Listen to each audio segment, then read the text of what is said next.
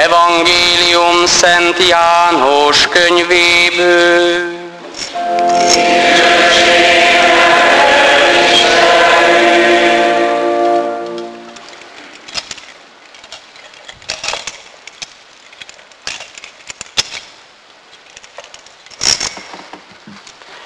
Amikor a hét első napján, husvét vasárnap beesteledett, Jézus megjelent a tanítványoknak ott, ahol együtt voltak, pedig a zsidóktól való félelmükben zárva tartották az ajtót. Belépett és így szólt hozzájuk, békesség nektek. Miután ezt mondta, megmutatta nekik a kezét és az oldalát. Az Úr láttára öröm töltötte el a tanítványokat. Jézus megismételte, békesség nektek. Amint engem küldött az Atya, úgy küldelek én is titeket. El szavak után rájuk lehelt, és így folytatta. Vegyétek a szent lelket. Akinek megbocsátjátok bűneit, az bocsánatot nyer, és akinek nem bocsátjátok meg, az nem nyer bocsánatot. A tizenkettő közül az egyik Tamás, vagy melléknevén Iker nem volt velük, amikor Jézus megjelent nekik. Később a tanítványok elmondták neki, láttuk az Urat, de ő így szólt, ha csak nem látom kezén a szegek nyomát, ha nem érintem ujjaimat a szege, ujjaimmal a szegem, szegek helyéhez, és nem tapintom meg kezemmel oldalát, én nem hiszem. Nyolc nap múlva ismét együtt voltak a tanítványok. Tamás is ott volt velük. Ekkor újra megjelent Jézus, bár az ajtó zárva volt. Belépett és köszöntötte őket. Békesség nektek! Tamásnak pedig ezt mondta, nyújtsd ide az ujjadat és nézd a kezemet. Nyújtsd ki a kezedet és érintsd meg oldalamat. Ne légy hitetlen, hanem hívő. Tamás így válaszolt, én Uram, én Istenem. Jézus ezt mondta neki, most már hiszel Tamás, mert láttál engem. Boldogok, akik nem láttak, és mégis hisznek. Jézus még sok más csodajelet is művel tanítványai szemeláttára, de azok nincsenek megírva ebben a könyvben. Ezeket viszont megírták, hogy higgyétek, Jézus a Messiás, az Isten fia, és hogy a hitáltal életetek legyen benne. Ezek az evangélium igéi.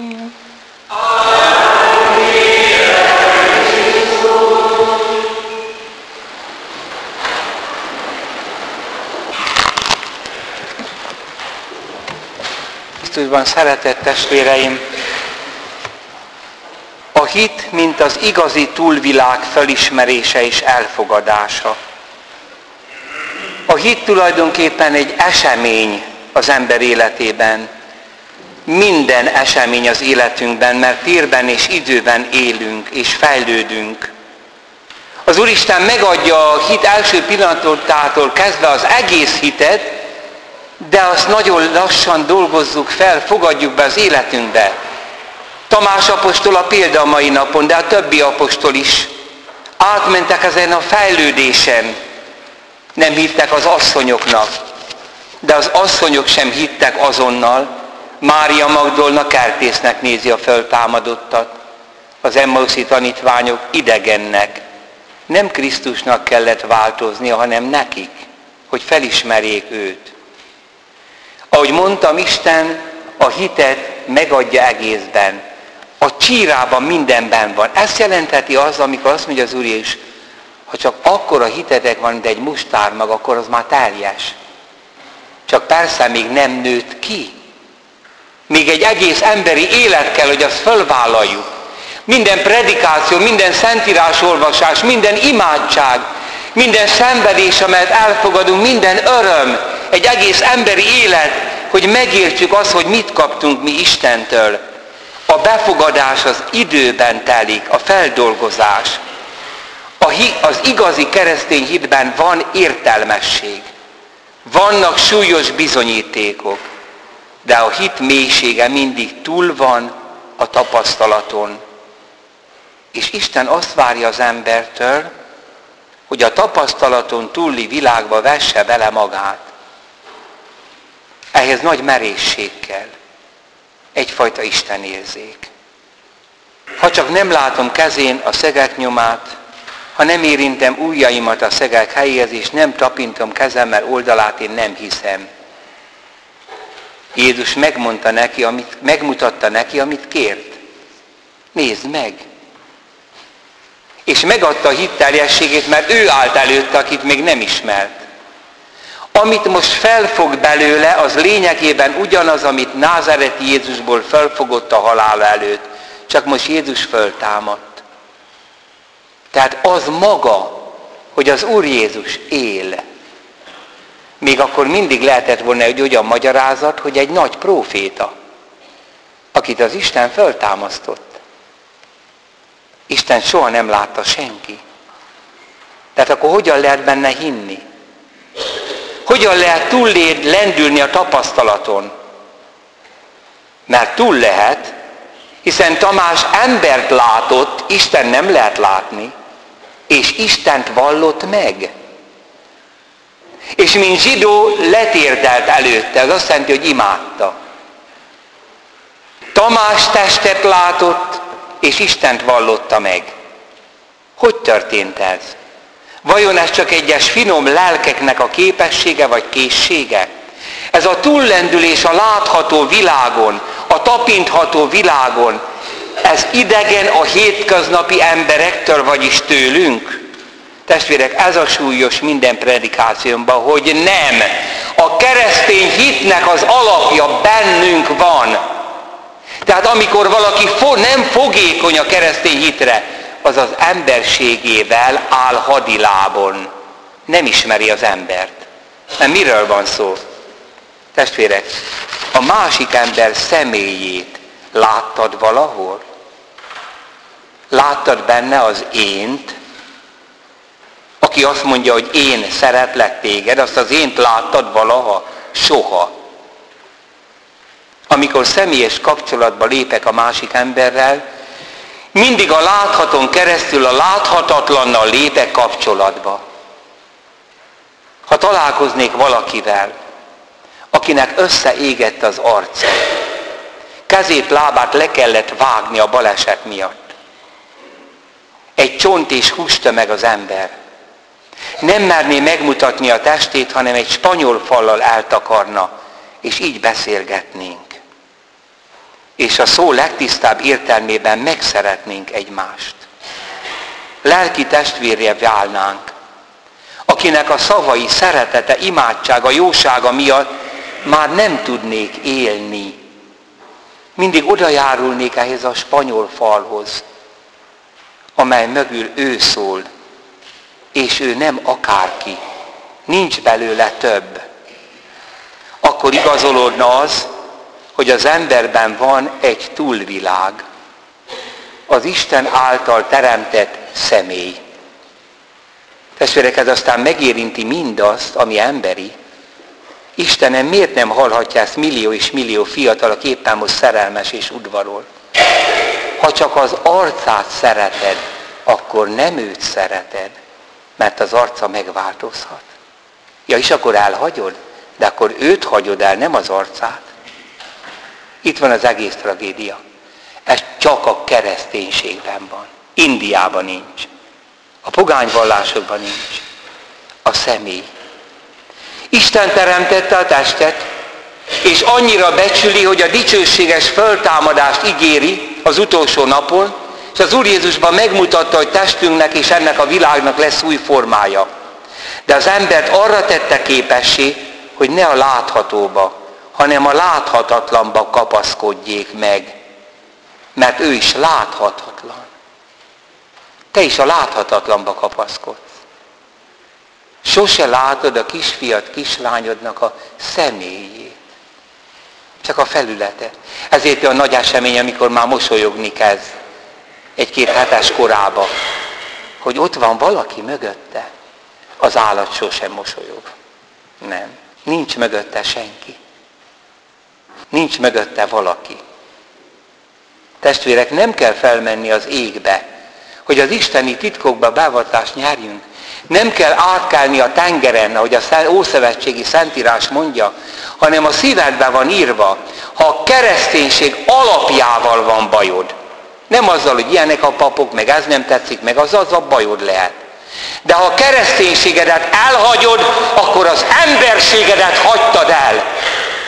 Értsd meg végre! Ez nem egy vallás a sok közül. Az az Isten nyilatkoztatta ki magát Krisztusban, aki teremtett.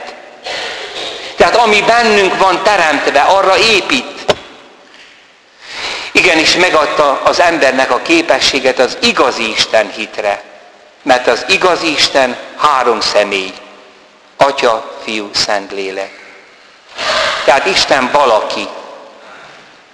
Egy alapvető vallási kérdés, amely már a kérdésbe is egy tévedés. Borzaszt, amikor a tévedésbe kérd, amikor a kérdésünkbe tévedés van, hát akkor hogyan lehet arra válaszolni?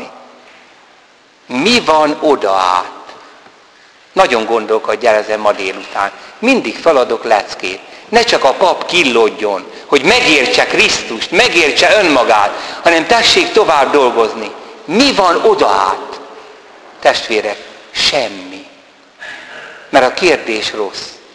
Odát nem valami van, hanem valaki. Semmi sincs. Olyan túlvilág, amiről a vallások fantáziáladnak, amit a New Age fölkínál, hogy egy kicsit föltupírozott, meg kellemesebb, de ez a jelen élet folytatódik végtelenül, Isten ments, borzasztó lenne. Borzasztó lenne. Ebben az állapotban élni két millió évig, de nem két millióig, hanem év, örökké. Hát kialtanánk a hegyeknek, hogy szakadjanak ránk. Isten írgalma, hogy a bűnbe esett embernek megadta a halál kegyelmét hogy átmenjen oda más világba, a túlvilágba. De mi van a túlvilágba? Semmi. Mert nincsenek tárgyak, berendezett ö, világ.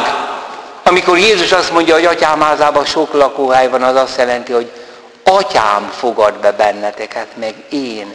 Nem valami van odát, hanem valakik. Az atya, a fiú és a szentlélek. Nincs túlvilág. Most döbbenj meg, botránkozz meg, és kérdezd meg, hogy jól értetted-e. Nincs túlvilág. Isten a túlvilágom. Tehát egy olyan halál utáni élet, amelyben megint el lehet lavírozni Isten nélkül, a szörnyű lenne. Hanem az a végtelen, örvényű, szerelmes Isten, aki három személy, akinek semmije sincs, csak fia van, csak Szentlélek van, csak az atya van, de valami olyan létterjesség, olyan végtelen gazdagság. Ezért mondja Szent János, hogy szeretet az Isten. Az nem azt jelenti, hogy néha úgy jót tesz velünk, hanem önmagában a szeretet. Tehát három személy. Nem csak kifelé. Igen. Nem tárgyakkal fogunk találkozni, amikor meghalunk. Semmivel se találkozunk. Ezért meg fogunk rémülni, de nagyon meg fogunk vigasztalódni mert valakivel találkozunk. A názereti Jézussal, akinek már van dicsőséges teste. Megint csak teste, de már dicsőséges. Nem ez az élet van benne, nem biosz, hanem zoé, mondja a görög szentírás. A vigasztaló az, hogy ez a valaki megdicsült testben van már, ölel és emel ki a halálra szánt világból úgy, hogy ami bennünk halandó, az most mind a sírba marad és elrothad, de a személyünket megfogja, a maga testébe fölveszi, és elkezdődik valahogy a föltámadás. Hiszen átmegy rajtunk az anyag, hét évvel ezelőtti anyagból már semmi sincs bennünk, a csontjaink is kicserélődtek. Az anyag több, mint matéria, mint amit megfogok. Dicsőségre rendelt. Tamás Jézus szavára átlépi a látható világot. Jézus személyhez lép és felismeri. Felismeri, hogy valaki szólt hozzá, és ez a valaki, ez az Isten. Hogy a lélek az, ami éltet, és a test nem használ semmit. Tudni illik önmagában a személy nélkül. Végül is a kereszténység végső meggyőződése, igazsága, alapja, hogy a valaki van a valami mögött. Mert a panteizmus, az összes pogány vallás úgy tudja, hogy csak az van, ami, ami valami. És ezt isteníti ezt a világot. De a valami az széthullik. A valami az alattam van. A valami az az én megsemmisülésem lenne, mert én valaki vagyok. És csak az az életem, hogy valakit szerethetek, és ő szeret engem. Ez a személynek az élete. Igen. Ezért kapkodnak most vallási módszer után, hogy elfogja, megfogják az Isten lábát. Ilyen nincs. Isten megfoghatatlan. Úgy megtapasztalhatatlan, mint ahogyan tapadok ehhez a tárgyhoz. Igen.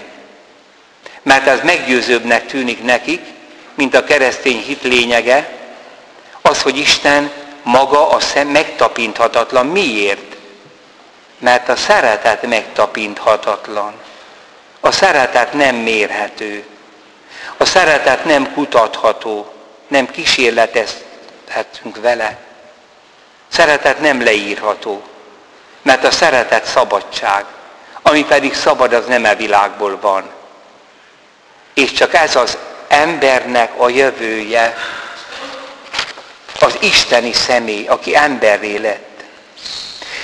És még van valami, amin ma el kell gondolkodni. Ha Isten valaki, akkor a vele való kapcsolat nem lehet teljes erkölcsi alakulás nélkül. Mert hogyha valakit te megszeretsz, akkor az életedből adsz neki. Az nem szeretet, hogy csak használod. Bele lépsz az ő életébe. A te életedet megnyitod neki. Ezért a kereszténység egyfajta állandó bűnbánat, a bűnökkel való kegyetlen szakítás, küzdelem nélkül hazugság. Nem ismeri Jézust az, aki állandóan nem szakad el attól, ami istentelen. Ezért van sok embernek hitellenes kísértése. Persze, lehet olyan, hogy nem ismeri a hitét. Butaságokat hisz, és azt hiszi, hogy az a katolikus hit. Például, hogy a kis ostjába bele van gyömöszölve a Jézuska. Hát borzasztó. Hát a föltámadott testnek ez a testi világ már nem akadály, hiszen zárt ajtók mellett megmutatja magát. Tehát nincs fizikai ellenmondás, nincs az egyik test a másikba, hanem a megdicsőült test van, a még meg nem dicsőült testben. Mint ahogyan a te lelked, a személyed benne van a testedben. Tehát tanulni kell a hitet. De testvérek, legtöbbször akkor van kételj a keresztény emberbe, ha valahol leragadt, az nem olyan nagy baj, hogy védkezett. Ilyenek vagyunk. De már nem gyónik, megideologizálja, föntart egy parázna kapcsolatot. Elhatározta, hogy mások kirablásával lesz gazdag. Monomániásan csak neki van igaza a családba, és mindenkit letorkol. Ezek olyan leragadások, hogy később a hitet kikezdi. Jézus egy árnyalak lesz. A kereszténység egy mese, mert nem léped vele, mert nem személyes kapcsolatban van az Úrral. Az Úr Jézussal való kapcsolat maga az átlépés a túlvilágba. Ott, ahol én vele vagyok, ahol te megáldozol. És sokszor mondtam, Jézus nem a gyomrodba jön, hanem oda, ahol ahol ott van az én. Nem mond, hogy nincsen, mert én velem akar lenni, és ott nincs halál. Ezért mondja, hogy nem halt meg, csak alszik. A halál az, hogyha az élet forrásától az Istentől elszakadsz, akkor élve is halott vagy. Így pedig meghalva is élsz. Ezért mondja, aki bennem hisz, még ha meghalt is élni fog. Mert Isten teremtő. Tehát ő nem úgy szeret, mint hogy én valakit, és az a szegény meghal, hanem ő teremt, a halálban is teremt.